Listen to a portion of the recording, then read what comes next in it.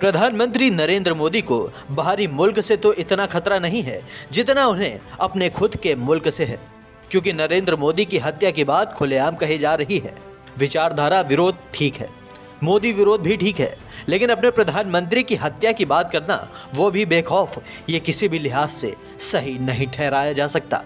मध्य प्रदेश में कांग्रेस के कद्दावर नेता और पूर्व मंत्री राजा पटेरिया के बोल बिगड़े तो उन्होंने पीएम मोदी की हत्या की ही बात कह डाली। विश्वास के साथ तमाम लोग आपके साथ हैं। मैं व्यक्तिगत तौर से आपका कोई एरिया नहीं होगा जहाँ मैं घूमता भटकता नहीं शासन, प्रशासन जो भी दबाव बनाए उसकी हमें मुखालफित करना है। आपके प्रभारी को मैं तब से जानता हूँ, जब ये यूथ कांग्रेस का अध्यक्ष हुआ करते थे। ये आपकी जो गारंटी लिया है, ये पीछे नहीं हटेगा। और तमाम लोग यहाँ जो बैठे हैं वो भी इस बात की चीज़ कह रहे हैं। तो कल मैंने गौरव में बात कही थी कि मोदी इलेक्शन खत्म कर देगा। मोदी धर्म जाति भाषा के आधार पर बांट देगा। दलितों को वनवासी आदिवासियों को और अल्पसंख्यकों का भावी जीवन खतरे में है। संविधान यदि बचाना है तो मोदी की हत्या करने के लिए तत्पर रहो हत्या करना है का कार्यकर्ता की उपेक्षा नेता की उपेक्षा होती है और नेता जब कार्यकर्ता की उपेक्षा होती है तो विपरीत परिणाम आते हैं। और जो जीत होती है, वो कार्यकर्ताओं की जीत होती है। वो नेता की खुद पराजय होती है कार्यकर्ता कभी युद्ध नहीं हारता, सेनापति युद्ध हारता है। और सेनापति यदि युद्ध के हारने का आरोप कार्यकर्ताओं पर लगाता है तो वो युद्ध के मैदान में कभी कोई युद्ध नहीं जीतता। ये चाणक्य ढाई हज़ार साल पहले किया गया, जो मैं कह रहा हूँ। साथियों, जंग जो होती है, जंग होती है हिम्मत से साथ से साथ दो, साथ लो। ठीक ठाक ताकत लगाओ ठीक ठाक परिणाम लो। और जंग जारी हो चुकी है, उस जंग में विजय तुम्हारी होना है। इनकी की नहीं होना, तुम्हारी विजय खैर, जब वीडियो वायरल हुआ तो मामले ने तोल पकड़ना भी शुरू कर दिया। जब ये वीडियो मध्य प्रदेश के गृह मंत्री नरोत्तम मिश्रा के पास पहुँचा तो उन्होंने मामले की गंभीरता को समझते हुए तुरंत एफआईआर दर्ज करने के निर्देश दे डाले। हत्या वाली बात दरअसल आदरणीय पटेलिया जी के बयानों को मैंने सुना उससे स्पष्ट हो रहा है कि अब ये महात्मा गांधी जी की कांग्रेस नहीं है। उन्होंने खुद ही समाप्त कर दिया था आज़ादी के बाद। ये इटली की कांग्रेस है।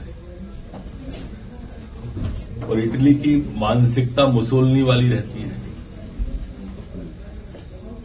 जिस तरह से उनकी यात्रा में स्वरा भास्कर, कन्हैया कुमार, सुशांत जी चल रहे हैं ना, उससे भी स्पष्ट हो जाता है, माननीय प्रधानमंत्री जी के खिलाफ इस बेहद आपत्तिजनक बयान जो माननीय पटेरिया जी ने किया है, मैं तत्काल एफआईआर कराने का एसपी को निर्देश दे रहा हूँ। जब बात एफआईआर की आ गई तो राजा पटेरिया बात को मैनेज करने में जुट गए। उन्होंने कहा कि मेरे कहने का मतलब ये था कि मोदी को चुनाव में हराना ही उनकी हत्या होगी। के कार्ड वितरण में पवई के दौरान एक वीडियो जारी हुआ है, जिसमें मुझे बताया गया कि मैं मैं बोला कि मोदी की हत्या कर दो। मैं गांधी को मानने वाला आदमी हूँ, गांधी की मानने वाला आदमी हत्या की बात नहीं कर सकता। वो वीडियो गलत तरीके से पेश किया गया है। मेरा कहने का आशय था कि राजनीतिक चुनाव क्षेत्र में उनको पराजित दिला के इस देश का संविधान बचाओ, अल्पसंख्यकों का, दलितों का, और आदिवासियों की रक्षा करने के लिए, बेरोजगारी हटाने के लिए मोदी को पराजित करना आवश्यक है। मेरा उद्देश्य हत्या के को लेकर गलत तरीके से पेश किया गया। हालाँकि उनकी ये बात सही भी है, क्योंकि जैसे ही उन्होंने पीएम मोदी की हत्या की बात कही तो उन्होंने हत्या इन द सेंस बोलकर कुछ बोला, जो वीडियो में खैर साफ़ रिकॉर्ड नहीं हुआ। कही थी कि मोदी इलेक्शन खत्म कर देगा। मोदी धर्म जाति भाषा के आधार पर बांट देगा। दलितों को वनवासी आदिवासियों को और अल्पसंख्यकों का भावी जीवन खतरे में है। संविधान यदि बचाना है तो मोदी की हत्या करने के लिए तत्पर हत्या है कार्यकर्ता जो भी है लेकिन पीएम मोदी की हत्या जैसे शब्दों को प्रयोग में लाना ही बहुत बड़ा अपराध है। जिस जगह पर पटेरिया ये विवादित बयान दे रहे थे, वहाँ कई लोग मौजूद थे। मान लीजिए, अगर कोई सिरफिरा वहाँ होता और उसने इस बात को सीरियस ले लिया होता, फिर क्या होता? हालाँकि होता तो कुछ भी नहीं, क्योंकि पीएम मोदी जिस सुरक्षा घेरे में रहते हैं, उसके ना जाने कितने किलोमीटर तक कोई भी संदिग्ध भटक तक नहीं सकता। हमारे देश का संविधान हमें कुछ भी बोलने की आज़ादी देता है, लेकिन क्या उसका फ़ायदा उठाकर हम कुछ भी बोल सकते हैं? नहीं, बिल्कुल नहीं। हमें एक दायरे में ही रहना चाहिए और अपनी बात उसी दायरे में ही मुकम्मल करनी चाहिए।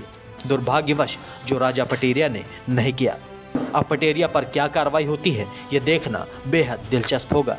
Desk report, the Bharat TV.